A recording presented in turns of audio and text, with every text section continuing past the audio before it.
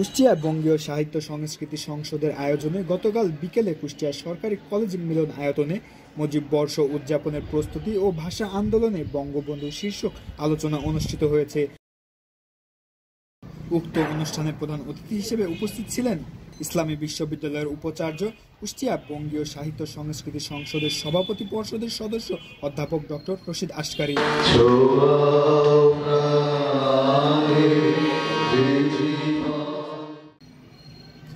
সম্মানিত অতিথি হিসেবে উপস্থিত ছিলেন কুষ্টিয়া ও বঙ্গীয় বিশ্ব সভা সদস্য ও উপ উপাচার্য ইসলামী বিশ্ববিদ্যালয়ের অধ্যাপক ডক্টর এম শাহিনুর রহমান, বঙ্গীয় সাহিত্য সংসদ সদস্য কুষ্টিয়া জেলা শাখার আহ্বায়ক কমিটির সদস্য ইসলামী বিশ্ববিদ্যালয় দিনকলা অনুষদ অধ্যাপক ডক্টর সরোয়ার মোর্শেদ, কুষ্টিয়া সরকারি মহিলা কলেজের অধ্যক্ষ অধ্যাপক শরীফুর রহমান খান, কুষ্টিয়া সরকারি কলেজের অধ্যক্ষ অধ্যাপক মঞ্জুর কাদের অনুষ্ঠানের শুরুতে অতিথিদের ফুলের তোড়া দিয়ে বরণ করেন কমিটির সদস্যরা এবং মোমবাতি জ্বালিয়ে স্মরণের মধ্য দিয়ে অনুষ্ঠান শুরু করেন তারা।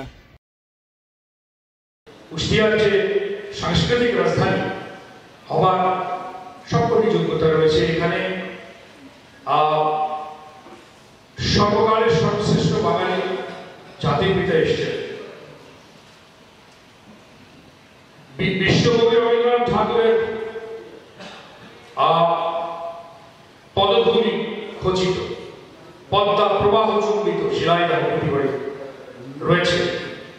এখানে অনেক গুণীজন এসছে কুষ্টিয়া সুতরাং কুষ্টিয়ার মানুষের সাংস্কৃতিক বোধ নিয়ে বিন্দুমাত্র সন্দেহের কোনো অবকাশ নেই। আমার আলোচনার শুরুতে আমি গভীর শ্রদ্ধায় স্মরণ করি যে এটি মহান ভাষা আন্দোলনের মাস। সালাম, জব্বার, রফিক, বরকাত। এই নামগুলো বারবার যেন আমাদের বর্তমান এবং ভবিষ্যৎ প্রজন্মের ছেলেমেয়েদের মনে মননে চিরজাগ্রত থাকে। সেজন্য বলছি সালাম, রফিক, জব্বার, বরকত। এবং সালাম সালাম, হাজার সালাম। এই গানটিকে অবসরণীয় করেছে এই কুষ্টিয়ারই একজন প্রতি সন্তান আব্দুল জব্বার। আমি বিনম্র শ্রদ্ধায় স্মরণ করি, সর্বকালের সর্বশ্রেষ্ঠ বলে জাতির পিতা বঙ্গবন্ধু শেখ মুজিবুর রহমানের পূর্ণ স্মৃতি দুটো বিষয়ে আমি কথা বলতে চাই। এক, বঙ্গীয়।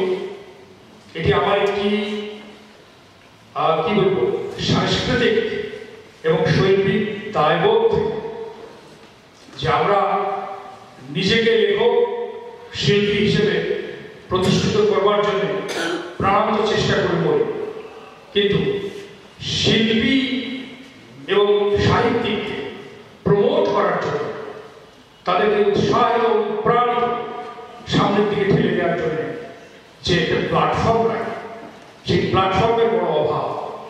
যারা বাংলা ভাষা এবং সাহিত্যকে বাঙালি এবং বাঙালি আনাকে গ্রহ থেকে গ্রহান্তরে নিয়ে যাওয়ার জন্য চেষ্টা করছে, বাংলাদেশে অনুষ্ঠান করছে বাংলাদেশের বাইরে একশো ছাপ্পান্ন হাজার বর্গমানের বাইরে অনুষ্ঠান করছে এবং সারা পৃথিবীর বাংলা ভাষাভাষী মানুষদেরকে, সৃষ্টিশীল, শৈল্পিক এবং মানুষদেরকে গবেষণা করতে মানুষদেরকে একই প্ল্যাটফর্মে নিয়ে এসে তারা প্রকারান্তরে বাংলা ভাষা এবং সাহিত্যের সমৃদ্ধিতে কাজ করে যাচ্ছে। এবং সম্প্রতি আমি দেখেছি যে ঢাকার একটি অনুষ্ঠানে ইন্ডিয়া থেকে অনেক বড় বাবু শিল্পীরা এসেছিলেন। এবং অনুবাদে, অনুবাদের মধ্য দিয়ে আমাদের আকর গ্রন্থগুলোকে কীভাবে বিশ্ববাসীর কাছে তুলে ধরা যায় আমাদের রবীন্দ্রনাথকে, আমাদের নজরুলকে, আমাদের জাতির পিতা বঙ্গবন্ধু শেখ মুজিবুর রহমানকে, আমাদের প্রত্যন্ত কবি সাহিত্যিককে অনুবাদের মধ্য দিয়ে কীভাবে বিশ্ববাসীর সামনে তুলে ধরা যায় এই মহান দায়বোধ থেকে বঙ্গীয় যে বঙ্গীয় যে পদচারণা, সেটি যোগ্য এবং আমি তার সাথে